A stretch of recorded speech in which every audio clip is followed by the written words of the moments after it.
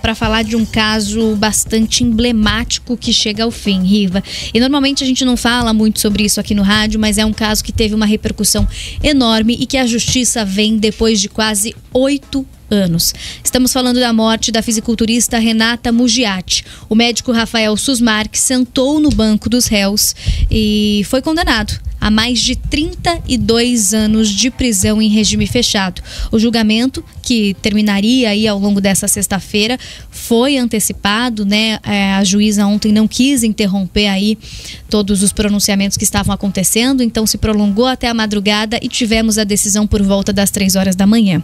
O repórter Pedro Talinha é quem acompanha esse caso e conta todos os detalhes dessa decisão pra gente. Bom dia, Pedro, para você. Bom dia, Manu. Riva chegou ao fim o julgamento de Rafael Susmarques. Ele foi condenado por assassinar Renata Mugiati. Rafael manteve a sua versão da história até o final do julgamento, dizendo que Renata sofria de depressão e que teria se jogado da janela e se suicidado. Porém, essa versão não convenceu e, na verdade, ele foi condenado pela morte, segundo as testemunhas e também o laudo do ML, da Polícia Científica, o trabalho de investigação. Foi comprovado que Rafael assassinou Renata e depois arremessou o corpo da mulher pela janela na tentativa de encobrir o crime que havia cometido. No total, são, são mais de 32 anos de prisão.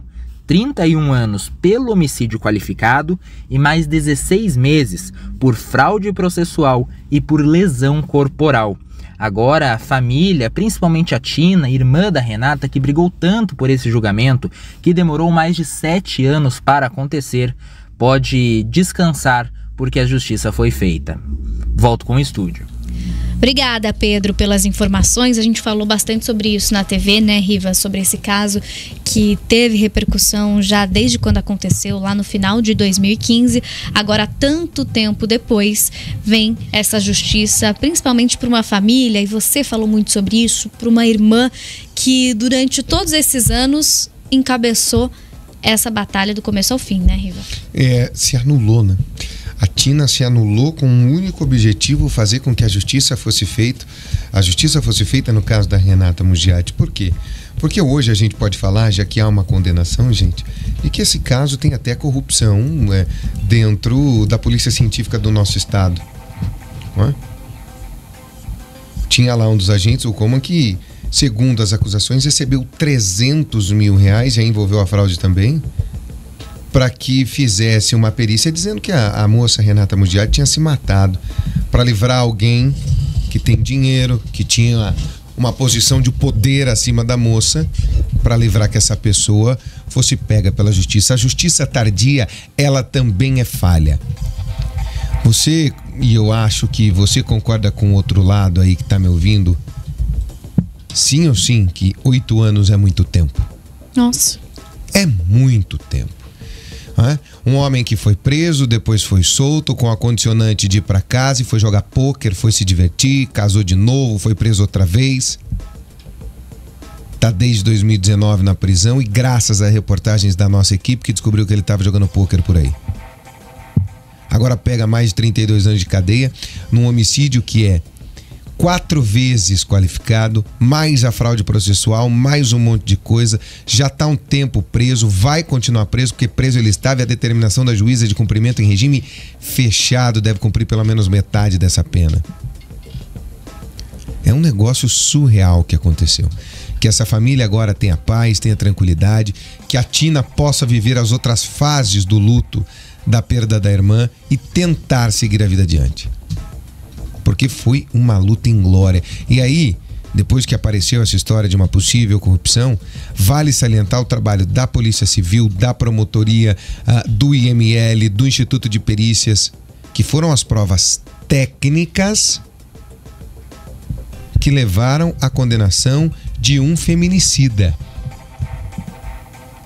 Gente não pode conviver com o número de uma mulher morta a cada 13 horas nesse país por feminicídio, por ódio e aversão às mulheres, uma mulher agredida a cada 15 segundos e as mulheres serem qualificadas como as loucas da história por homens violentos.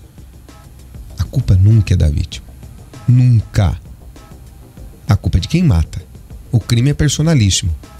é o ruim da história quem o fez, não quem o teria motivado. Não existe. Não existe uma motivação plausível, é, é, salvo a rara exceção de uma legítima defesa de você matar alguém. Ainda mais da forma como foi. Mas é uma história que traz pra gente também aquela velha situação que é tradição do nosso país. Quem tem dinheiro protela as coisas. Quem tem poder financeiro nesse país demora a ser condenado. A Lava Jato tinha mudado tudo isso. A gente teve um fio de esperança de que a justiça, enfim, ia pegar todos. Que esse caso seja pedagógico e que, acima de tudo, mostre para as mulheres. Se você estiver numa relação doentia, a Tina, a, última expressão dela, mano, que nos chocou, ela dizia assim: a minha irmã só dizia que queria casar com esse homem, o homem que foi o algoz dela, mesmo sofrendo tudo. Não se anule por absolutamente ninguém. Quem está perto vendo essa violência precisa ajudar. Sim, em briga de marido e mulher, a gente mete a colher. Que esse caso ao menos sirva de exemplo, né, depois de Sim. tanto tempo, Riva, para que as mulheres denunciem, para que as pessoas entendam que a justiça é feita sim nesses casos e para que mais justiça seja feita no caso de tantas outras mulheres, infelizmente, que sofrem com a violência e que a gente possa combater esses índices terríveis que a gente tem no nosso país. É, talvez, eu aqui estou falando, claro, com uma análise jurídica é, uma análise do que aconteceu, dessa justiça que veio tardia, mas enfim veio. Veja por quanto tempo se prolongou o sofrimento dessa família, pelo amor de Deus. Mas com relação à violência das mulheres, é, me revolta muito porque eu tenho duas filhas e eu quero uma, um mundo diferente para ela. Para elas, né? Quero um mundo completamente diferente para elas.